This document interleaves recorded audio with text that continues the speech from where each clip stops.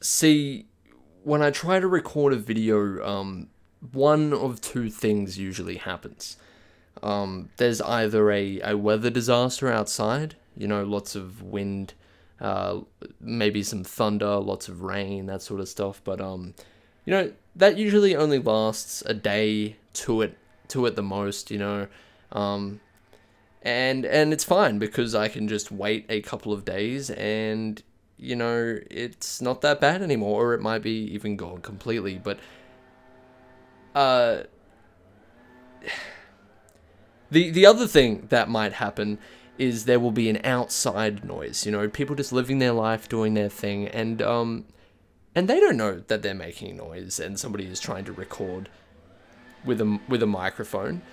Um, so I can't blame them at all. Uh, it's I can't even get angry about that. Uh, you know, I've just got to move on and accept that people are doing their thing during the day as well, and um, you know, somebody talking into a microphone inside their house isn't going to stop them because they have no idea. They have no idea at all.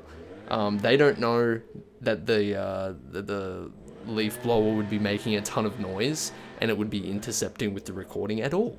They're just doing their job. So why am I so fucking angry?